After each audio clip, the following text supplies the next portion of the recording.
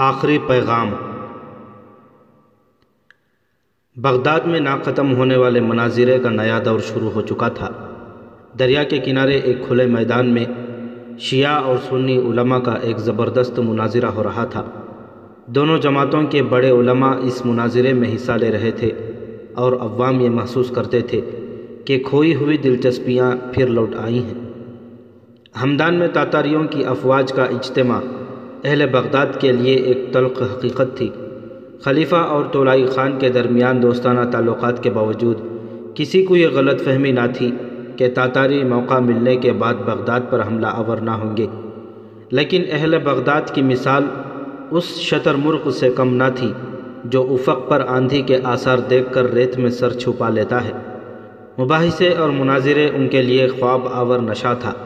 اسلام کے دشمن، ترکستان، خراسان اور ایران کے میدانوں میں پڑاؤ ڈال کر عالم اسلام پر آخری ضرب لگانے کے لیے اپنی تلواریں اور نیزے درست کر رہے تھے۔ اور بغداد میں اسلام کے نام لیوا صرف یہ جاننے کے لیے بے قرار تھا کہ کس فرقے کے علماء کی زبان کے نشتر دوسروں کی نسبت زیادہ تیز اور زیادہ زہر آلود ہیں۔ طاہر بن یوسف اور اس کے ساتھیوں نے ان میں سے ایک عارضی زندگی پیدا کی تھی۔ اور ان کی سرگرمیوں سے ان علماء کا کاروبار کچھ عرصے کے لیے ٹھنڈا پڑ گیا تھا، جو گزشتہ چار صدیوں سے ایک دوسرے کو جھوٹا اور کافر ثابت کرنا اسلام کی بہت بڑی خدمت سمجھتے تھے۔ اور ان کی جگہ ان حق پرست علماء نے چھین لی تھی، جو خدا اور رسول صلی اللہ علیہ وسلم کے ہر نام لیوا کو تباہی اور بربادی سے بچانا اپنا مذہبی فریدہ سمجھتے تھے۔ لیکن حق پرستوں کی یہ جماعت بھی ان لوگوں کو تلوار کی اہمیت سمجھانے میں کامیاب نہ ہو سکی۔ جو صدیوں سے اپنے ہر درد کا علاج کتابوں میں تلاش کرنے کے عادی ہو چکے تھے، وہ طاہر کی دعوت پر میدان میں آنے اور ان کی کوششوں سے عوام کی ذہنیت میں اچانک ایک تبدیلی آ گئی۔ وہ باتوں کے بجائے عمل میں اپنی نجات محسوس کرنے لگے۔ وہ خوارزم شاہ کو اپنا آخری دفاعی حصار سمجھ کر اس کی طرف متوجہ ہوئے، لیکن بدلے ہوئے حالات کے ساتھ جوش و خروش ٹھنڈا پڑ گیا۔ دور دراز سے آئے ہوئے رضاکار مایوس ہو کر لڑ گئے۔ خلیفہ ان کے حفاظت کا ضامن تھا اور خلیفہ کے نئے وزیر نے انتہائی دور اندیشی اور تدبر سے کام لے کر تاتاریوں کو اہل بغداد کا محافظ اور دوست بنا دیا تھا۔ ان کی نگاہوں میں اتحاد، تنظیم اور جہاد پر زور دینے والے علماء کی اہمیت کم ہونے لگی اور وہ پھر اپنے ان رہنماؤں کی طرف متوجہ ہوئے۔ جو ایک کامیاب مناظر بن کر دنیا اور آخرت کی سب سے بڑی سعادت سمجھتے تھے۔ شیعوں اور سنیوں کا یہ مناظرہ بغداد میں علم و عرفان کی بارش کے نزول کے دور ثانی کی ابتدا تھی۔ یہ مناظرے کی تیسری رات تھی۔ آمنے سامنے دو اسٹیجوں پر شامیان نصب تھے اور مناظرے میں حصہ لینے والے علماء کرسیوں پر رونق افروز تھے۔ ان کے سامنے بڑی بڑی میزوں پر کتابوں کے انبار لگے ہوئے تھے۔ روشنی کے لیے دونوں جماعتوں کے رضاکار مشلیں اٹھائے کھڑے تھے۔ اس کے علاوہ جگہ جگہ فانوس لٹک رہے تھے۔ درمیان میں سالس کی سٹیج تھی اور چاروں اطراف لوگوں کا بے پناہ ہجوم تھا۔ گزشتہ دو دن مناظرے کے اصول اور قواعد طے کرنے میں مصروف ہوئے تھے۔ دونوں جماعتوں کے علماء نے یہ حلف اٹھایا تھا کہ وہ اشتعال انگیزی سے کام نہیں لیں گے۔ سامعین کا خیال تھا کہ یہ دلچسپی کم از کم چھ ماہ تک ختم نہ ہوگی۔ اور کسانوں کے سوا اکثر لوگ مناظرے کے اختتام تک موسم تبدیلی کے خواہش مند نہ تھے۔ وہ بارہا یہ آزما چکے تھے کہ اگر آندھی یا بارش کی وجہ سے مناظرہ ایک یا دو دن ملتوی ہو جائے، تو مناظرین تازہ دم ہونے کے بعد پھر ابتدا سے بحث شروع کر دیتے ہیں۔ آج شام کے قریب افق مغرب پر سیاہی چھا رہی تھی، لیکن لوگوں کا خیال تھا کہ اس موسم میں آندھی نہیں آ سکتی۔ اس کے علاوہ مناظرہ شروع ہونے سے پہلے سالس کی درخواست پر لوگ یہ دعا بھی کر چکے تھے کہ آج کی مجلس بخیر و خوبی ختم ہو۔ صفیں آراستہ ہو چکی تھیں اور دین کے مورچوں میں بیٹھ کر علم کی توپیں گولہ باری کرنے والی تھیں، لیکن آندھی کا ایک تند و تیز جھونکا آیا۔ مشلیں بجھ گئیں، شامیانوں کی تنابیں ٹوٹ گئیں اور شامیانوں کے ساتھ لٹکے ہوئے فانوسوں کی بدولت دونوں اسٹیجوں پر آگ لگ گئی۔ علماء بچ کر باہر نکل آئے۔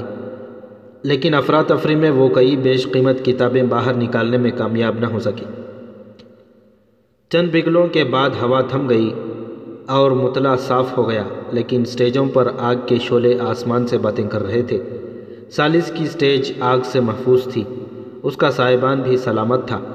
اس کے دائیں اور بائیں آگ کی بڑھتی ہوئی روشنی میں لوگوں نے دیکھا۔ کہ سالس کے قریب ایک شخص سپاہیانہ لباس پہنے کھڑا تھا اور وہ دونوں ہاتھ بلند کر کے خاموشی کی تلقین کر رہا ہے۔ قریب سے دیکھنے والے اکثر لوگوں نے اسے پہچان لیا اور تھوڑی دیر میں میدان کے ایک سرے سے دوسرے سرے تک طاہر بن یوسف، طاہر بن یوسف کی آوازیں آنے لگیں اور لوگ چاروں اطراف سے سمٹ کر سالس کی میز کے ارد گرد جمع ہونے لگے۔ آگ کے لپکتے ہوئے شولوں سے اس شامیانے کے لیے بھی خطرہ پیدا ہو چکا تھا۔ لیکن چند نوجوانوں نے تنابیں کاٹ کر شامیانے ایک طرف پھینک دیے۔ طاہر بن یوسف کو تقریر کے لیے آمدہ دیکھ کر سالس نے کہا، میں اپنی اسٹیج سے کسی کو تقریر کی اجازت نہیں دے سکتا۔ لیکن عبد الملک نے جلدی سے آگے بڑھ کر اس کے کان میں کہا، آپ خاموش رہیں تو بہتر ہے، ورنہ میرا خنجر بہت تیز ہے۔ یہ جلسہ آپ کی صدارت میں ہوگا۔ آپ چپ چاپ بیٹھے رہیں۔ مناظرین کی توجہ جلتے ہوئے صاحبانوں کے نیچے دبی ہوئی کتابوں پر مرکوز تھی۔ اس لیے انہیں یہ احساس نہ تھا کہ سالس کی اسٹیج پر کیا ہو رہا ہے۔ اور جب وہ طاہر بن یوسف کا نام سن کر چوکنے ہوئے، وہ تقریر شروع کر چکا تھا اور اس کے یہ چند فقرے عوام کی توجہ جذب کرنے کے لیے کافی تھے۔ زندگی کی تمسخر اڑانے والوں، اس آندھی اور آگ کو قدرت کی طرف سے ایک انتباہ سمجھو۔ تم نے بابل و نینوا کی تباہی کی داستانیں سنی ہوں گی۔ لیکن خدا وہ دن نہ لائے جب مستقبل کے سیاہ ماضی کے کھنڈر دیکھ کر یہ کہیں کہ یہاں کسی زمانے میں ایک عظیم الشان شہر آباد تھا، جس کا نام بغداد تھا، جس میں بیس لاکھ انسان آباد تھے، جس کے محل پانچ صدیوں کی تعمیری یادگار تھے۔ لیکن بابل اور نینوا کے باشندوں کی طرح انہیں بھی ایک عبرتناک تباہی کا سامنا کرنا پڑا۔ اور وہ صرف اس لیے کہ وہ اپنی کوتاہی عمل کے جواز کے لیے خدا اور رسول صلی اللہ علیہ وسلم کے احکام کی تعویلیں کرتے تھے۔ انہوں نے قرآن حکیم سے درس حیات لینا ترک کر دیا تھا۔ قرآن نے انہیں اتحاد اور تنظیم کا درس دیا تھا، لیکن ان کی زندگی کا اولین مقصد مسلمانوں میں تفریق و انتشار پیدا کرنا تھا۔ خدا نے انہیں کفار سے جہاد کا حکم دیا تھا۔ لیکن وہ کفار کو اپنا محافظ و نگہبان سمجھ کر آپس میں دست و گریبان ہو رہے تھے۔ بربریت کا بے پناہ طوفان ان کے دروازے پر دستک دے رہا تھا اور وہ آنے والی تباہی سے آنکھیں بند کر کے ایک دوسرے پر الفاظ کے تیر برسانا کافی سمجھتے تھے۔ بغداد کے لوگوں، تمہارا خلیفہ اور تمہاری آنے والی نسلوں کی عزت اور آزادی تاتاریوں کے ہاتھ فروخت کر چکے ہیں۔ لیکن وہ عمرہ جو یہاں موجود ہیں، کان کھول کر سن لیں۔ کہ بغداد کا انجام خوارزم کے شہروں سے مختلف نہیں ہوگا۔ تم نے بجلیوں کو بغداد کے خرمن تک پہنچنے کی دعوت دی ہے۔ تم نے آگ کے شولوں کو اپنے گھر بلایا ہے۔ آگ صرف جلانا جانتی ہے۔ اور یاد رکھو، جب وہ جلائے گی تو محلوں اور جھونپڑیوں میں تمیز نہیں کرے گی۔ مسلمانوں، تمہاری تاریخ شاہد ہے کہ آج تک تمہیں کسی کی تلوار مغلوب نہیں کر سکی۔ تمہارے لوہے نے ہر لوہے کو کاٹا ہے۔ تمہاری مٹھی بھر افواج نے دشمن کی بڑی بڑی افواج کو شکستیں دی ہیں۔ تمہاری کسی ناکامی کا باعث تمہاری کمزوری نہ تھی، بلکہ تم نے اگر کہیں شکست کھائی تو وہ تمہاری آپس کی پھوٹ کا نتیجہ تھی۔ تم نے اگر کہیں تباہی کا سامنا کیا تو وہاں تمہارے غداروں کا ہاتھ موجود تھا۔ ایک شخص نے بلند آواز میں کہا، کیا جلال الدین کی شکستوں میں بھی کسی غدار کا ہاتھ تھا؟ طاہر نے جواب دیا کون کہتا ہے کہ جلال الدین کو تاتاریوں نے شکست دی؟ وہ ایک چٹان کی طرح تاتاریوں کے سیلاب کی لہروں کا مقابلہ کرتا رہا۔ بڑے بڑے طوفان اسے متزلزل نہ کر سکے، لیکن اس چٹان کو نابود کرنے کے لیے تاتاریوں کو عالم اسلام کے ماماروں نے اپنے تیشے پیش کیے۔ جلال الدین کو مایوس کر کے تم ایک مددگار کھو بیٹھے ہو۔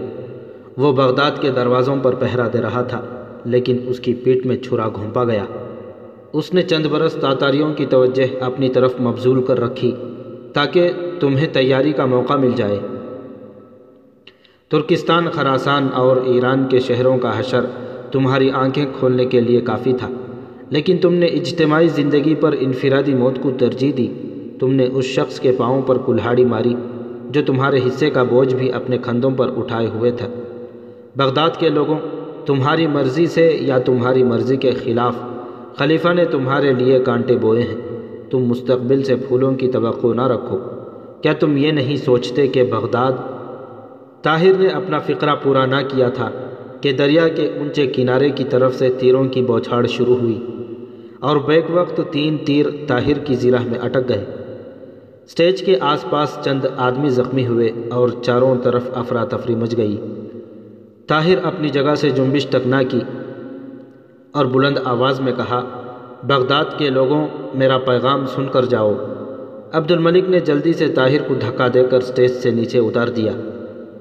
تیروں کی ایک بوچھاڑ آئی اور سٹیج کے آس پاس چند اور آدمی زخمی ہو گئے۔ اتنی دیر میں طاہر کے کئی عقیدت مند تلواریں سونت کر دریا کے کنارے کی طرف بھاگ رہے تھے۔ اور نہتے لوگ بھی ان کی تقلید کر رہے تھے، لیکن ان کے پہنچنے سے پہلے تیر انداز رفو چکر ہو چکے تھے۔ اور دریا میں چند کشتیاں دوسرے کنارے کا رخ کر رہی تھیں۔ عبد الملک نے چند رضاکاروں کو کنارے پر پہرا دینے کے لیے کہا اور بھاگتا ہوا واپس طاہر کے پاس پہنچا۔ وہ بھاگ گئے، لیکن تم زخمی ہو۔ چلو، یہاں ٹہرنا ٹھیک نہیں۔ لیکن طاہر نے اپنی زرہ میں اٹکے ہوئے دو تیر نکال کر پھینک دیے اور کہا، یہ زخم بہت معمولی ہیں۔ تیسرا تیر تم نکال دو۔ لیکن خون، چند قطرے کوئی بڑا نقصان نہیں۔ جلدی کرو، میں چند باتیں کہنا ضروری سمجھتا ہوں۔ عبد الملک نے تیر نکالتے ہوئے کہا، تمہاری مرضی، لیکن یہ وہ مردے نہیں جو سورہ اسرافیل سے جاگ اٹھے۔ طاہر پھر ایک بار سٹیج پر کھڑا ہو گیا۔ لوگ خاموش ہو گئے۔ اس نے کہا، بغداد کے لوگوں، کیا تم یہ نہیں سوچتے کہ تمہاری غداری کی وجہ سے خوارزم کے لاکھوں شہیدوں کا خون رائے گا جائے گا؟ یتیموں کی آہیں اور بیواؤں کے آنسو بے اثر ثابت ہوں گے۔ یاد رکھو بغداد کے وہ لوگ جنہوں نے خوارزم شاہ کے ساتھ غداری کی ہے۔ قوم کے وہ مجرم ہیں جنہیں قدرت کبھی معاف نہیں کرے گی۔ قدرت کے فیصلے اٹل ہیں۔ شاید میری دعائیں انہیں بدل سکیں، لیکن اگر تم صرف زندہ ہی رہنا چاہتے ہو، تو بھی تمہیں یہ مشورہ دیتا ہوں کہ تم بغداد کو چھوڑ کر کہیں دور چلے جاؤ۔ وہ شہر جس کے اندر اتنے غدار اور بدتنیت لوگ ہوں قدرت کے انتقام سے نہیں بچ سکتا۔ میرا مشورہ شاید ان لوگوں کے لیے قابل قبول نہ ہو جو تاتاریوں سے ملت فروشی کی قیمت وصول کر چکے ہیں، لیکن عوام سے میں یہ کہوں گا کہ وہ یہاں نہ رہیں۔ تمہارے علماء کی فتنہ پروری، عمرہ کی غداری اور خلیفہ کی عاقبیت نا اندیشی کے بعض بغداد زمین کے سینے پر ایک ناسور بن چکا ہے اور قدرت جب جراحی پر آمدہ ہوتی ہے تو اس کا تیر اور بے رحم نشتر گندے خون کے ساتھ صاف خون بھی نکال دیتا ہے۔ یہ مت سمجھو کہ تمہارے خلیفہ کی روحانیت تمہاری حفاظت کی ضامن ہے اور تاتاری چونکہ خدا اور رسول صلی اللہ علیہ وسلم کے ممکن ہیں، اس لیے تمہارے جیسے نام و نہاد مسلمانوں پر بھی غالب نہیں آ سکتے۔ خدا اور رسول صلی اللہ علیہ وسلم کی حمایت صرف ان کے لیے ہے جو ان کے احکام کی تعمیل کرتے ہیں۔ تاتاری کافر ہیں۔ لیکن وہ مسلمان ہونے کا دعویٰ نہیں کرتے۔ تم مسلمان ہونے کا دعویٰ کرتے ہو، لیکن عملی طور پر تم خدا اور رسول صلی اللہ علیہ وسلم کے احکام سے منکر ہو۔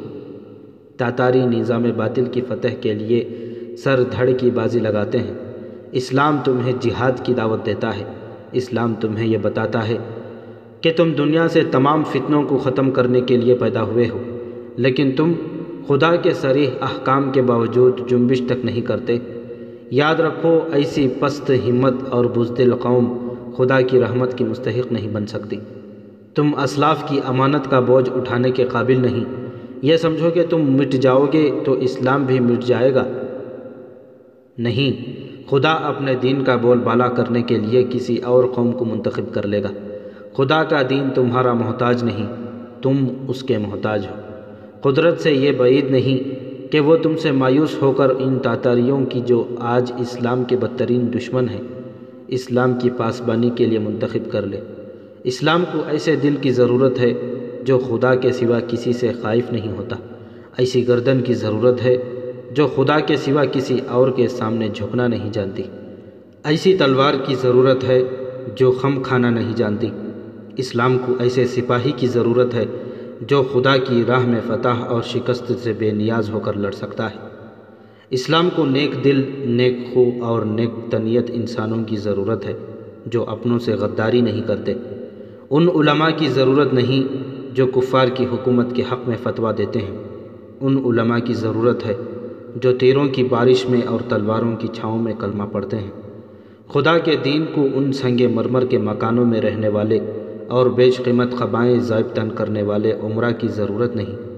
ان صابر و شاکر سپاہیوں کی ضرورت ہے جو پیٹ پر پتھر باندھ کر لڑ سکتے ہیں۔ بغداد کے لوگوں، تمہارے لیے دو راستے ہیں۔ ایک یہ کہ تم اپنی پچھلی کوتاہیوں سے توبہ کر کے مستقبل کی فکر کرو اور آنے والی مصیبت کے مقابلے کے لیے متحد ہو جاؤ۔ لیکن یہ تم اس وقت تک نہیں کر سکتے جب تک تم بغداد کی گلی کوچوں کو غداروں اور تفریقہ بازوں کے وجود سے پاک نہیں کر دیتے۔ تمہارے لیے دوسرا راستہ یہ ہے کہ تم اس شہر کو چھوڑ کر کہیں چلے جاؤ۔ اس پر خدا کا قہر نازل ہونے والا ہے۔ میں دیکھ رہا ہوں کہ دجلہ کا پانی تمہارے خون سے سرخ ہونے والا ہے اور تاتاری تمہاری کھوپڑیوں سے اپنی فتح کی یادگار تعمیر کرنے والے ہیں۔ یہ شہر وحشت اور بربریت کا وہ دور دیکھنے والا ہے جو آج تک کسی نے نہیں دیکھا۔ شاید بغداد کی تباہی کے سامنے بابل اور نینوا کی تباہی کی داستانیں بھی ماند پڑ جائیں گی۔ اس تقریر کے اختتام کے ساتھ میں بغداد میں اپنا آخری فرض پورا کرتا ہوں۔ اس کے بعد تم مجھے نہیں دیکھو گے اور یہ اس لیے نہیں کہ میں خطرے سے بھاگ رہا ہوں، بلکہ اس لیے کہ میں خودکشی کرنے والوں کا ساتھ دینے کے بجائے ان لوگوں کا ساتھ دینا بہتر سمجھتا ہوں جو زندہ رہنا چاہتے ہیں۔ میں اس لیے جا رہا ہوں کہ تم میری ضرورت محسوس نہیں کرتے۔ لیکن اگر مجھے یہ معلوم ہوا کہ تم میں زندہ رہنے کی خواہش پیدا ہو رہی ہے اور تم بغداد کو غداروں کے وجود سے پاک کرنے کے لیے تیار ہو اور تاتاریوں کی حفاظت میں زندہ رہنے پر موت کو ترجیح دیتے ہو، تو میں عزت کی موت میں تمہارا ساتھ دے سکتا ہوں۔ ذلت کی زندگی میں تمہارا ساتھ دینے کے لیے تیار نہیں۔ خدا حافظ۔ مناظرین نے اطمینان کا سانس لیا اور طاہر سٹیج سے اتر کر عبد الملک اور چند نوجوانوں کے ساتھ تاریکی میں غائب ہو گیا۔ عبد الملک ایک دن پہلے اپنے بچوں کو بغداد سے روانہ کر چکا تھا۔ پندرہ بیس اور نوجوانوں کی جماعت شہر سے باہر ایک مقام پر ان کے لیے گھوڑے لیے کھڑی تھی۔ جلسہ گاہ سے نکل کر عبد الملک نے کہا، اگر آپ زخموں کی وجہ سے سفر کرنا تکلیف دہ سمجھتے ہوں، تو ابھی تک چند پناہ گاہیں ایسی ہیں۔ جن تک حکومت کے سپاہی نہیں پہنچ سکتے۔ طاہر نے جواب دیا، نہیں زیرہ میں ان تیروں نے کوئی اثر نہیں کیا۔ معمولی زخم ہے، مجھے تو ان کا احساس بھی نہیں۔ لیکن جانے سے پہلے میں بغداد میں ابھی ایک فرض پورا کرنا چاہتا ہوں۔ اور شاید اس مقصد کے لیے ہمیں چند نوجوانوں کی مدد لینا پڑے۔ وہ کیا؟ محلب بن داود سے چند باتیں۔ لیکن اس وقت وزیر اعظم کے محل میں داخل ہونا آسان نہیں۔ مجھے ایک آسان راستہ آتا ہے۔ کتنے آدمیوں کی ضرورت ہے؟ زیادہ سے زیادہ دس۔ تو چلیے، لیکن جہاں آپ دس کی ضرورت محسوس کرتے ہیں، میں وہاں پندرہ لے جانا ضروری سمجھتا ہوں۔ بہت اچھا۔ پندرہ صحیح، لیکن اس مہم میں آدمیوں سے زیادہ احتیاط کی ضرورت ہے۔ انجام۔ وزیر اعظم محلب بن داود اپنے محل کے اس کشادہ کمرے میں بیٹھا ہوا تھا، جو دریا کے کنارے کی طرف تھا۔ ناظم شہر قید خانے کا داروغہ اور بغداد کی افواج کا سپہ سالار کشمور اس کی محفل میں شریک تھے۔ شراب کا دور چل رہا تھا اور بغداد کے تازہ حالات پر تبصرہ ہو رہا تھا۔ محلب نے کہا، میرا خیال ہے کہ وہ بچ گیا ہوگا۔ اس دن اتنا خطرناک زہر اس کا کچھ نہ بگاڑ سکا۔ معمولی زخم اس کا کیا کریں گے؟ ناظم شہر نے جواب دیا، نہیں، میں کوتوال سے تسلی کر کے آیا ہوں۔ اتنے فاصلے سے کم از کم چار تیر لگنے کے بعد وہ زندہ نہیں رہ سکتا۔ اور اس دن کے زہر کے متعلق میری رائے یہ ہے کہ اس کے پاس یقیناً کوئی تریاق ہوگا۔ لیکن وہ بہت دور اندیش ہے۔ ممکن ہے کہ زیرہ وغیرہ پہن کر آیا ہو۔ کوتوال نے اسے گرتے ہوئے دیکھا تھا۔ میری ہدایت تھی کہ وہ فوراً کشتیوں پر بیٹھ کر دوسرے کنارے پہنچ جائیں۔ اس لیے وہ نتائج کا انتظار نہ کر سکے۔ محلب نے کہا، اس نے پھر اس پرامن شہر میں آگ لگا دی ہے۔ اب مجھے پھر ایک بار تاتاریوں کو مطمئن کرنا پڑے گا اور میرے خیال میں ان کا مطالبہ یہی ہوگا کہ ان کے خلاف اشتعال پھیلانے والوں کو پکڑ کر ان کے حوالے کیا جائے۔ داروغہ نے کہا، اس کے سوا ہمارے لیے کوئی اور راستہ بھی نہیں۔ طاہر کو اگر موقع ملا تو ہمیں یقیناً زخ پہنچائے گا۔ ناظم شہر نے کہا، لیکن ہماری طرف سے فوری کارروائی پر عوام ہمارے خلاف بہت زیادہ مشتعل ہو جائیں گی۔ اور عوام کا جوش و خروش دیکھ کر خلیفہ بھی ہمیں شاید فوری اقدام کی اجازت نہ دیں۔ آج تقریر میں اس نے اعلان کیا ہے کہ وہ بغداد سے جا رہا ہے۔ اور اگر وہ واقعی چلا گیا تو یہ معاملہ خود بخود ٹھنڈا ہو جائے گا۔ اور اگر اس نے یہاں ٹہرنے کی کوشش کی تو علماء کے ایک بہت بڑے گروہ کو ہم اس کی مخالفت پر آمدہ کر چکے ہیں۔ اور اس کے پیرو اسے اپنی سرگرمیاں جاری رکھنے کی اجازت نہیں دیں گے۔ آج اس کی تقریر غیر متوقع تھی، ورنہ ہم جلسے میں گڑبڑ ڈالنے کے لیے کئی آدمیوں کو بھیج سکتے تھے۔ آئندہ کے لیے یہ انتظام کروں گا کہ اسے ٹوکنے کے لیے ہر مسجد اور ہر چوک میں علماء موجود رہیں۔ کل تک کم از کم ڈیڑھ سو علماء کی طرف سے یہ فتویٰ مشتہر ہو جائے گا کہ اس کے مقاصد باغیانہ ہیں۔ اچانک طاہر ننگی تلوار لیے اندر داخل ہوا اور اس نے کہا، تمہیں غلط فتویٰ مشتہر کرنے کی ضرورت نہیں پڑے گی۔ محلب کے ہاتھ سے شراب کا جام گر پڑا اور اس پر سختہ تاری ہو گیا۔ کشمور نے جلدی سے اٹھ کر تلوار کے قبضے کی طرف ہاتھ بڑھایا، لیکن طاہر نے بجلی کی سی تیزی سے اپنی تلوار کی نوک اس کے سینے پر رکھتے ہوئے کہا، بیٹھ جاؤ کشمور غصے سے ہونٹ کاٹتا ہوا بیٹھ گیا۔ محلب نے سنبھلتے ہوئے کہا، تم یہاں کس نیت سے آئے ہو؟ طاہر نے جواب دیا، تم مدت سے میرے پیچھے سرگردان تھے اور میں بغداد چھوڑنے سے پہلے تم سے چند باتیں کرنا ضروری سمجھتا تھا۔ لیکن تمہیں معلوم نہیں کہ میری آواز پر پچاس پہرے دار یہاں اکٹھے ہو سکتے ہیں۔ طاہر نے اطمینان سے جواب دیا، پچاس نہیں، پینتالیس۔ پانچ دریا کے کنارے اونگ رہے تھے، وہ ہمارے قبضے میں ہیں۔ اور تم نے دوسروں کو آواز دی تو تمہاری آواز آخری ثابت ہوگی۔ عبد الملک کے ساتھ پانچ اور نوجوان تلواریں لیے کمرے میں داخل ہوئے۔ طاہر نے کہا، اندر زیادہ آدمیوں کی ضرورت نہیں، باہر کا خیال رکھو۔ عبد الملک کے اشارے پر دو نوجوان باہر نکل گئے اور باقی تین ناظم شہر کشمور اور داروغہ کے سروں پر کھڑے ہو گئے۔ طاہر نے کہا، اٹھیے۔ محلب نے خوف سے کامتے ہوئے کہا، کیا چاہتے ہو؟ طاہر نے جواب دیا، میں کہہ چکا ہوں کہ میں چند باتیں کرنا چاہتا ہوں۔ میں تمہارا ہر مطالبہ ماننے کو تیار ہوں۔ کہو کیا چاہتے ہو؟ صرف یہ کہ تم سب ہمارے ساتھ چلو۔ کہاں؟ جہاں ہم لے جائیں۔ اور اگر میں انکار کروں تو مجھے مجبوراً اپنی تلوار استعمال کرنا پڑے گی۔ اسے ہاتھ لگا کر دیکھ لو۔ طاہر نے یہ کہتے ہوئے آہستہ سے تلوار کی نوک اس کے سینے میں چبھو دی۔ نہیں نہیں، خدا کے لیے مجھ پر رحم کرو۔ میں وعدہ کرتا ہوں کہ بغداد چھوڑ کر چلا جاؤں گا۔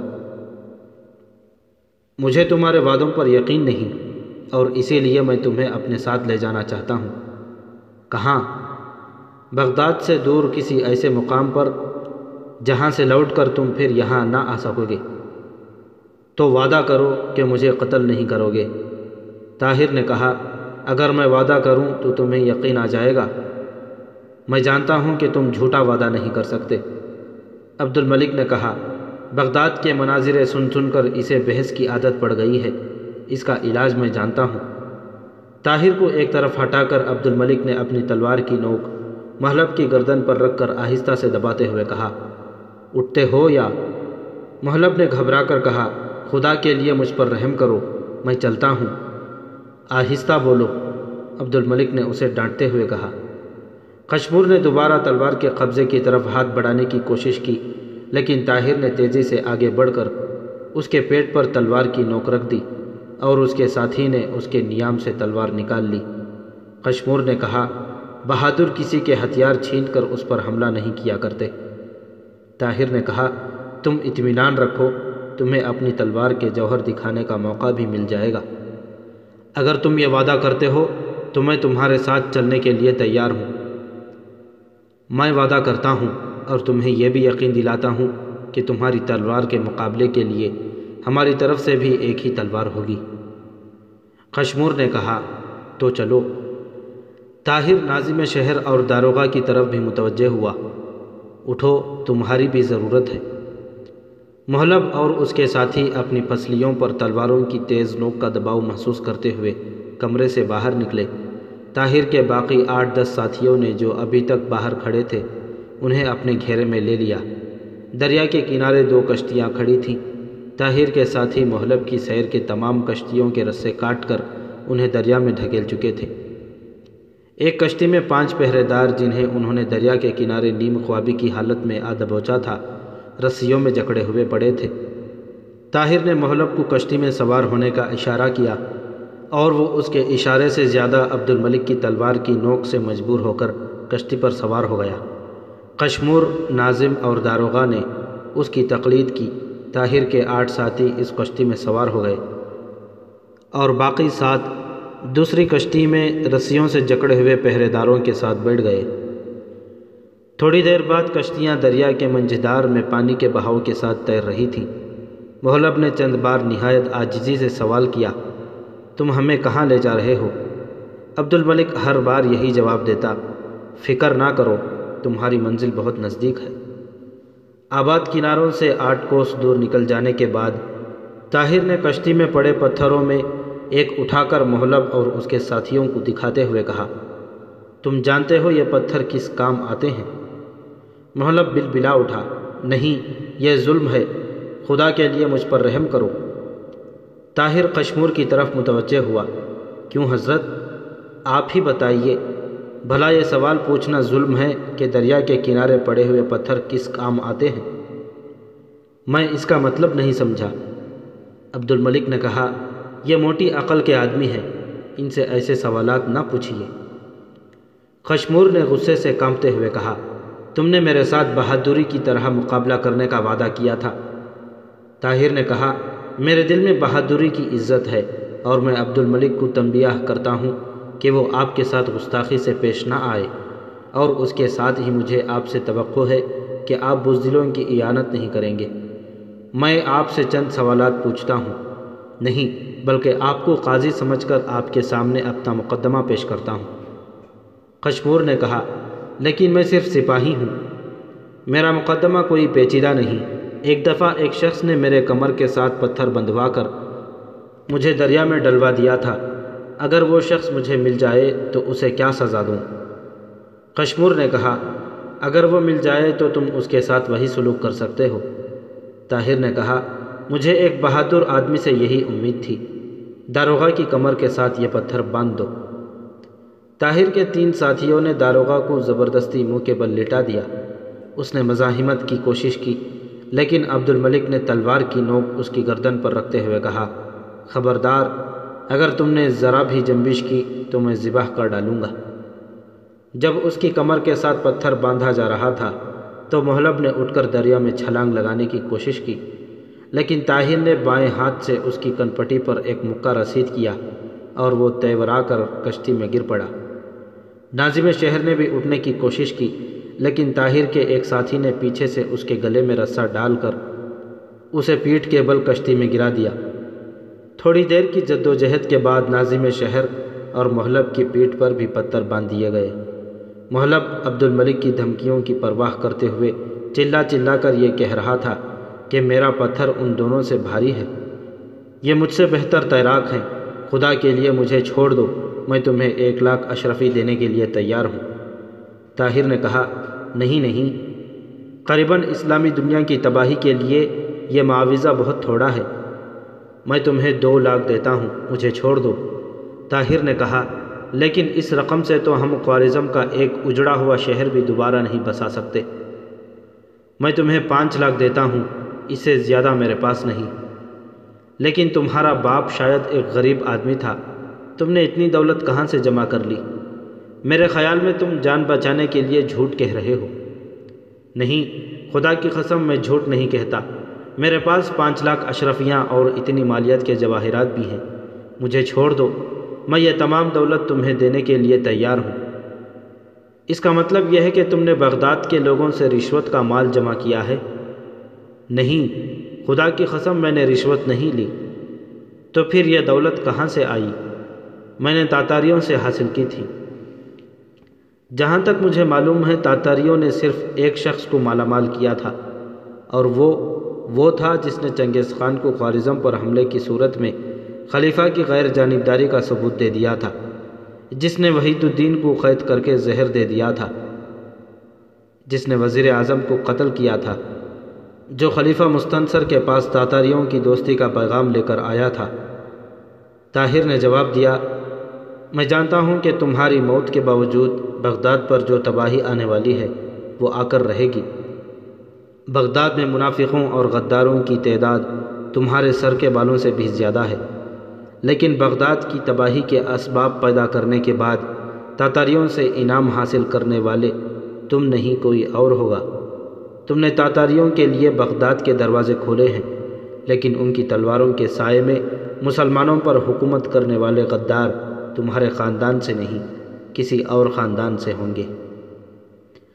ناظم شہر نے کہا، تمہیں زہر دینے اور دریا میں پھینکنے کی سازش میں میرا کوئی ہاتھ نہیں تھا۔ طاہر نے کہا، تو پھر تمہیں یہ کیسے معلوم ہوا کہ میرے خلاف ایسی سازش کی گئی ہے؟ مجھے داروغہ نے بتایا تھا۔ داروغہ نے کہا، بزدل مت بنو ہمارے بغیر تمہارا دل اس دنیا میں کیسے لگے گا؟ طاہر نے کہا، اب تم یہ فیصلہ کر لو کہ خود دریا میں کودنا پسند کرو گے یا ہم تمہارے ہاتھ پاؤں پکڑ کر دریا میں پھینک دیں۔ داروغہ نے کہا، ہم پر اگر کوئی احسان کرنا چاہتے ہو تو یہ ہو سکتا ہے کہ ہمیں ایک ساتھ کودنے کا موقع دو۔ طاہر نے کہا، مجھے منظور ہے، میں آخری وقت میں تمہارے ساتھ زبردستی نہیں کرنا چاہتا۔ اور پھر یہ پتھر وزن میں اس پتھر سے زیادہ نہیں، جس کا بوجھ اٹھا کر میں نے دریا عبور کیا تھا۔ ناظم نے کہا، لیکن ہم تیراک نہیں۔ تو اس صورت میں ہمیں تم کو زبردستی پانی میں پھینکنے کی تکلیف اٹھانا پڑے گی۔ عبد الملک پہلے محلب کی باری ہے۔ داروغہ نے اپنے ساتھیوں سے کہا، اگر ایک ایک کر کے ہمیں پانی میں دھکیلا گیا، تو ہمارا ڈوب جانا یقینی ہے۔ اگر اکٹھے کودو تو میں تمہیں سہارا دینے کا وعدہ کرتا ہوں۔ یہ پتھر بہت معمولی ہے اور میں اس سے زیادہ بوجھ اٹھا کر دریا عبور کر سکتا ہوں۔ طاہر اور اس کے ساتھی داروغہ کی اس احسار پر حیران تھے، کیونکہ جسمانی لحاظ سے وہ اپنے ساتھیوں کی نسبت زیادہ نحیف تھا۔ تاہم، انہیں اطمینان تھا کہ اتنا بوجھ اٹھا کر کوئی بھی کنارے تک نہیں پہنچ سکے گا۔ داروغہ نے کہا، آپ ہمیں ایک ساتھ کودنے کی اجازت دیتے ہیں۔ طاہر نے کہا، مجھے کوئی اعتراض نہیں۔ داروغہ اٹھ کر کشتی کے سرے پر کھڑا ہو گیا۔ کہنے لگا، میں جا رہا ہوں۔ اگر تمہیں میری مدد کی ضرورت ہے تو میرے ساتھ آؤ، ورنہ میں پیچھے مڑ کر نہیں دیکھوں گا۔ ناظم اور محلب جھٹ اٹھ کر اس کے قریب کھڑے ہو گئے۔ داروغہ نے بازو پھیلا کر کہا، اپنی گردنیں میری بغل میں دے لو، میں تمہیں منجدار سے نکال لوں گا اور اس کے بعد جو تمہاری قسمت۔ ڈوبتے کو تنکے کا سہارا۔ ناظم اور محلب نے اپنی تقدیر داروغہ کے سپرد کر دی۔ عبد الملک نے طاہر کے کان میں کہا، یہ تیرنا بالکل نہیں جانتا۔ میں اسے اس وقت سے جانتا ہوں جب یہ فوج میں تھا۔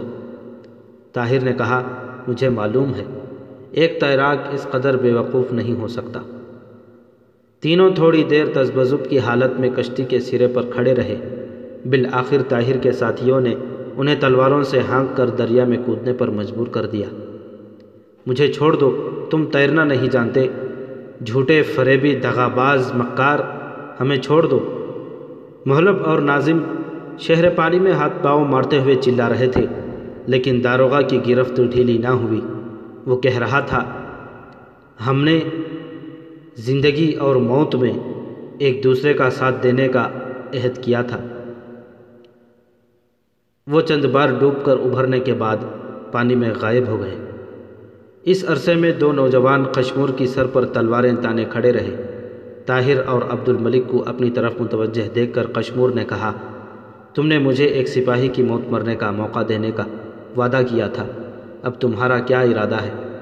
طاہر نے جواب دیا، ہم تمہاری خواہش پوری کریں گے۔ تم نے یہ بھی وعدہ کیا تھا کہ میرا مقابلہ صرف ایک آدمی سے ہوگا۔ ہم اپنے وعدے پر قائم ہیں۔ آدھی رات کا چاند نمودار ہو چکا تھا۔ دونوں کشتیاں کنارے پر لگیں۔ طاہر نے اپنے دو ساتھیوں کو دوسری کشتی میں پڑے ہوئے پانچ اسیروں پر پہرا دینے کے لیے کہا اور اس کے باقی ساتھی اس کی ہدایت کے مطابق کشتیوں سے اتر کر کنارے اور پانی کے درمیان ریت کے ایک چھوٹے سے ٹاپو پر کھڑے ہو گئے۔ اس کے بعد عبد الملک اور طاہر نے کشمور کو تلواروں کے پہرے میں کشتی سے اتارا۔ جب ان کے ساتھیوں نے کشمور کے گرد دائرہ بنا لیا، تو طاہر نے اس کی چھینی ہوئی تلوار واپس دینے کا حکم دیا۔ عبد الملک نے طاہر کے کان میں کہا، تیروں سے زخمی ہونے کے بعد تمہارا بہت سا خون ضائع ہو چکا ہے، اس لیے مجھے اس سے طے غازمائی کی اجازت دو۔ طاہر نے جواب دیا صفیہ کی شہادت کے بعد میں نے ایک عہد کیا تھا اور میں اسے پورا کرنا چاہتا ہوں۔ تم میری فکر نہ کرو۔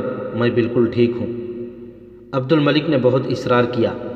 جب وہ دبی زبان سے ایک دوسرے کو سمجھانے کے بجائے بلند آواز میں بحث کرنے لگے، تو کشمور نے کہا، میرے مقابلے کے لیے کسی ایسے شخص کو سامنے آنا چاہیے جو میرا ہم پلہ ہو۔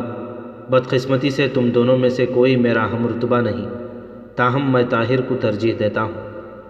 طاہر نے عبد الملک کو ایک طرف دھکیلتے ہوئے نیام سے تلوار نکال لی اور کہا، تیار ہو جاؤ۔ کشمور نے تلوار کو جنبش دیتے ہوئے اطمینان سے جواب دیا، میں تیار ہوں رات کی خاموشی میں تلواروں کی جھنکار سنائی دینے لگی۔ تھوڑی دیر تیز و تند حملے کرنے کے بعد کشمور مغلوب ہو کر پیچھے ہٹنے لگا۔ طاہر نے کہا، پانی میں کودنے کے ارادے سے پیچھے ہٹنے کی کوشش نہ کرو۔ میں نے تمہیں بہادروں کی طرح لڑنے کا موقع دینے کا وعدہ کیا تھا۔ بھاگنے کا موقع دینے کا وعدہ نہیں کیا تھا۔ کشمور نے کہا تو تمہارے نزدیک میری سزا موت کے سوا کچھ نہیں۔ طاہر نے کہا، تمہیں اپنی موت کا یقین ہو چکا ہے؟ ہاں اب میں یہ محسوس کرتا ہوں کہ تمہارے زخموں کے متعلق میرا اندازہ صحیح نہ تھا۔ میں نے عبد الملک کی بجائے تمہیں مقابلے کے لیے منتخب کرنے میں غلطی کی ہے۔ تم اس غلطی کی تلافی کر سکتے ہو۔ وہ کیسے؟ ہتھیار ڈال کر۔ طاہر کو ڈھیلا ہوتا دیکھ کر کشمور نے اچانک پینترا بدلا۔ اور اس پر پے در پے کئی وار کر دیے۔ ایک بار اس کی تلوار ہوا میں سنسناہٹ پیدا کرتی ہوئی اس کے سر کے اوپر سے گزر گئی۔ طاہر نے نیچے جھک کر اپنی گردن بچاتے ہوئے اس پر اچانک ایک سیدھا وار کر دیا۔ کشمور تیورا کر زمین پر گرا۔ طاہر کی تلوار اس کے پیٹ سے آر پار ہو چکی تھی۔ طاہر نے جھک کر اس کے دامن سے تلوار پہنچتے ہوئے عبد الملک کی طرف دیکھا اور کہا اگر یہ توبہ کر لیتا تو میں یقیناً اسے چھوڑ دیتا، لیکن اس نے مجھے باتوں میں لگا کر خیال کیا کہ میں بے پرواہ ہو گیا ہوں۔ عبد الملک نے کہا، چلیے، اب دیر ہو رہی ہے۔ میرے خیال میں یہ دونوں کشتیاں پانی میں دھکیل دیں اور قیدیوں کو وہیں رہنے دیں۔ صبح تک یہ کشتیاں کافی دور نکل جائیں گی۔ اور جب تک کوئی قیدیوں کو نکال کر ان کی سرگزشت پوچھے گا، ہم بہت دور جا چکے ہوں گے۔ طاہر نے سوال کیا ہمارے گھوڑے یہاں سے کتنی دور ہیں؟ عبد الملک نے جواب دیا، کوئی آدھ کوس کے فاصلے پر۔ عبد الملک کی ہدایات کے مطابق بغداد سے اس کے چند دوست ایک دن قبل اس سرائے میں پہنچ چکے تھے، جہاں وہ خوارزم شاہ کے ڈیڑھ سو سپاہیوں کو ٹہرا گیا تھا۔ عبد الملک کی بیوی اور دو بچے بھی، جن میں سے ایک آٹھ سالہ لڑکا اور دوسری پانچ سالہ لڑکی تھی، اس جگہ پہنچ چکے تھے۔ تیسرے دن شام کے وقت طاہر اور عبد الملک بیس سواروں کے ساتھ اس جگہ پہنچ گئے اور چوتھے دن الگ صبح اس قافلے نے ہندوستان کا رخ کیا۔ چند دنوں کے بعد جب وہ چھوٹی چھوٹی پہاڑیوں سے گزر رہے تھے، تو طاہر نے ایک بلند ٹیلے پر پہنچ کر گھوڑا روکا اور شمال کے بلند پہاڑوں کی طرف دیکھنے لگا۔ وہ تصور میں ایک ندی کے کنارے پتھروں کا وہ انبار دیکھ رہا تھا، جس کے نیچے صفیہ دائمی نیند سو رہی تھی۔ عبد الملک نے گھوڑا روک کر کچھ دیر اس کا انتظار کیا اور بالآخر بولا، طاہر، کیا سوچ رہے ہو؟ طاہر نے چونک کر اس کی طرف دیکھا۔ اس کی آنکھوں میں آنسو چھلک رہے تھے۔ عبد الملک نے مغموم لہجے میں کہا، چلو، قافلہ دور جا چکا ہے. طاہر نے گھوڑے کو ایڑ لگاتے ہوئے کہا عبد الملک میں سوچتا ہوں کہ بغداد سے اس درجے مایوس ہونے میں ہم نے غلطی تو نہیں کی؟ عبد الملک نے جواب دیا، نہیں میرے خیال میں ہم نے بغداد کے لوگوں سے اتنی بڑی توقعات وابستہ کرنے میں غلطی کی تھی۔ کیا یہ ممکن ہے کہ وہ شہر جو صفیہ جیسی لڑکیاں پیدا کر سکتا ہے، ہمیشہ کے لیے ختم ہو جائے؟ جس شہر میں محلب جیسے ہزاروں انسان موجود ہوں، اسے تباہی سے کوئی نہیں بچا سکتا۔ صفیہ نے تو ایسے شہر کی مٹی میں دفن ہونا بھی قبول نہیں کیا، جس پر خدا کا قہر نازل ہونے والا ہے۔ عبد الملک ہم اپنے فرض سے بھاگ تو نہیں رہے۔ نہیں، ہم وہاں جا رہے ہیں جہاں ہمیں فرض بلا رہا ہے۔ مجھے یقین ہے کہ ہندوستان میں رہ کر ہم قوم کی کوئی صحیح خدمت کر سکیں گے۔ سلطان التمش کو ہماری تلواروں کی ضرورت ہے۔ بغداد میں ہم اپنا فرض پورا کر چکے ہیں۔ جو لوگ خودکشی کا ارادہ کر چکے ہوں، انہیں کوئی نہیں بچا سکتا۔ جب ایک ایسی قوم کو جو طوفان میں غرق ہونے کا ارادہ کر چکی تھی نوح علیہ السلام جیسے جلیل القدر پیغمبر بھی تباہی سے نہ بچا سکے تو ہم کون ہیں؟ ہم نے اہل بغداد کو ان کے راستے کی محیب گڑھے دکھانے کی کوشش کی، لیکن وہ آنکھیں بند کر کے چلنے پر مصر ہیں۔ تو اس میں ہمارا کیا قصور؟ خوارزم کے شہر ان کے سامنے ایک ایک کر کے تباہ ہوئے، لیکن قدرت کی طرف سے بار بار تنبیہ کے باوجود انہوں نے عبرت حاصل نہیں کی۔ اہل بغداد تنزل کی اس آخری گہرائی تک پہنچ چکے ہیں۔ جہاں سے انہیں اٹھانا کسی انسان کا کام نہیں۔ جس بستی کے ہر پانچ آدمیوں میں سے ایک خدار ہو، اسے تباہی سے کون بچا سکتا ہے؟ ایک قوم کو تباہ کرنے کے لیے محلب جیسا ایک آدمی کافی ہوتا ہے، اور بغداد میں تو ہزاروں محلب موجود ہیں۔ طاہر نے کہا، بغداد کی تباہی کے آثار مستعصم کی تخت نشینی کے ساتھ مکمل ہو جائیں گے۔ میں نے سنا ہے کہ اسے شراب عورتوں کے ناچ اور راگ کے سوا کسی شے کا شوق نہیں۔ میرے خیال میں ایسے شخص کا خلیفۃ المسلمین کہلانا ہی بغداد کی تباہی کے لیے کافی ہوگا۔ وہ جس شخص کو اپنا وزیر بنائے گا، وہ محلب سے یقیناً زیادہ ایار ہوگا۔ طاہر بن عبد الملک التمش کی فوج کے بہترین جرنیلوں میں شمار کیے جاتے تھے۔ جلال الدین خوارزم شاہ کے متعلق کسی کو معلوم نہ تھا کہ وہ کہاں ہے تاتاری اس کی تلاش میں آذربائیجان، قفقاز اور آرمینیا کا کونا کونا چھان چکے تھے۔ ان کی طرف سے بارہا اس کی موت کا اعلان ہو چکا تھا، لیکن دنیا یہ ماننے کے لیے تیار نہ تھی۔ وقت گزرتا گیا، طاہر، عزت اور شہرت کے آخری زینے پر پہنچ چکے تھے۔ دنیا کی کوئی نعمت ایسی نہ تھی جو اسے میسر نہ تھی۔ سریا کی محبت اس کے لیے گھر کی چار دیواری کو خلد بریم بنانے کے لیے کافی تھی۔ بڑھاپے میں اس کے تین بیٹے تیغزنی اور دوسرے فنون حرب میں نام پیدا کر چکے تھے۔ سریا کا بھائی اسماعیل تجارت کے میدان میں اپنا نام پیدا کر چکا تھا۔ عبد الملک کا مکان طاہر کے مکان کے ساتھ تھا اور اس کے لڑکے بھی فوج میں اعلیٰ عہدوں پر فائز تھے۔ مبارک اور طاہر کے باقی تمام ساتھی فارغ البالی سے زندگی کے دن گزر رہے تھے۔ دہلی میں ہزاروں افراد ایسے تھے جن کے لیے طاہر کی زندگی قابل رشک تھی۔ لیکن طاہر کو ایک خلش ہمیشہ بے چین رکھتی اور یہ بغداد کی یاد تھی۔ ماضی کا غبار اس کی نگاہوں سے بغداد کو اوجھل نہ کر سکا۔ دہلی میں پندرہ سال فوجی اور سیاسی خدمات سر انجام دینے کے بعد وہ اپنی زندگی اسلام کی تبلیغ کے لیے وقف کر چکا تھا اور عبد الملک ہر میدان میں اس کا ساتھ دینے کا عزم کر چکا تھا۔ ہندوستان کے غیر مسلموں کو خدا کی دین کی دعوت دینے کے بعد انہیں ایک روحانی تسکین حاصل ہوتی۔ لیکن جب کبھی کسی مجلس میں یا اجتماع میں تقریر کرتے ہوئے طاہر کو بغداد کا خیال آتا تو وہ جلدی سے تقریر ختم کر کے کسی گوشہ تنہائی میں جا بیٹھتا اور پہروں سوچتا رہتا۔ وہ بار بار اپنے دل میں کہتا، کاش میں اس شہر کو تباہی سے بچا سکتا۔ وہ اپنے آپ کو کوستا۔ عبد الملک آ کر اسے تسلی دیتا اور کہتا، طاہر، تمہاری وجہ سے ہندوستان کے کئی ہزار انسان کلمہ پڑھ چکے ہیں۔ اور ابھی کروڑوں انسانوں کے پاس خدا کا پیغام پہنچانے کی ضرورت ہے۔ اب بغداد کے متعلق سوچنے سے کوئی فائدہ نہیں۔ بغداد کی زمین بنجر ہے۔ اس لیے وہاں تم نیکی کے درخت کا بیج نہ اگا سکے۔ ہندوستان کی زمین زرخیز ہے۔ یہاں ہمیں اپنی محنت کا پھل مل رہا ہے۔ تم درست کہتے ہو۔ طاہر یہ کہہ کر اٹھتا اور پھر کام شروع کر دیتا۔ اٹھائیس برس گزر گئے۔ اور ان اٹھائیس برسوں میں زمانہ کئی بار کروٹیں بدل چکا تھا۔ ایران میں چنگیز خان کا پوتا ہلاکو خان حکمران تھا اور بغداد میں مستعصم کی خلافت کا تیسرا سال تھا۔ تاتاری بغداد پر حملے کی تیاریاں کر رہے تھے۔ خلیفہ کے وزیر ابن القمی نے ہلاکو خان کے ساتھ ساز باز کر کے خلیفہ کو یہ مشورہ دیا کہ علم اور روحانیت کے اس مرکز میں تین لاکھ فوج کی کیا ضرورت ہے۔ یہ خزانے پر ایک غیر ضروری بوجھ ہے۔ چنانچہ بغداد میں چند ہزار سپاہیوں کے سوا باقی تمام فوج کو دائمی رخصت دی جا چکی تھی۔ دوسری طرف بزرگان قوم اور علماء دین کی یہ حالت تھی کہ ان کے مناظرے اب ختم ہونے کا نام ہی نہ لیتے۔ شیعہ سنی کی بحث اب مکمل خانہ جنگی کی صورت اختیار کر چکی تھی۔ شہر کے عمرہ میں حکومت کے تنخواہ داروں کی نسبت تاتاریوں سے اپنے ضمیر اور قوم کی عزت کی قیمت وصول کرنے والوں کی تعداد کہیں زیادہ تھی۔ خلیفہ کے ہاتھ میں شراب کا جام تھا اور اس کی مسنت کے سامنے عورتیں رقص کر رہی تھیں۔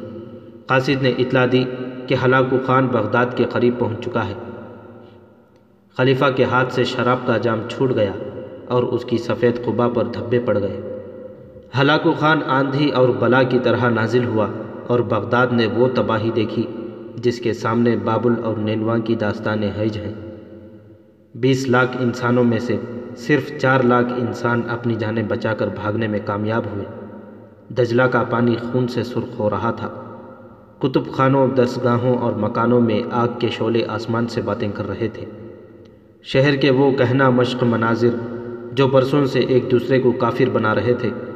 وہ عمرہ اور علماء جو برسوں کی غداری کا آخری انعام حاصل کرنا چاہتے تھے۔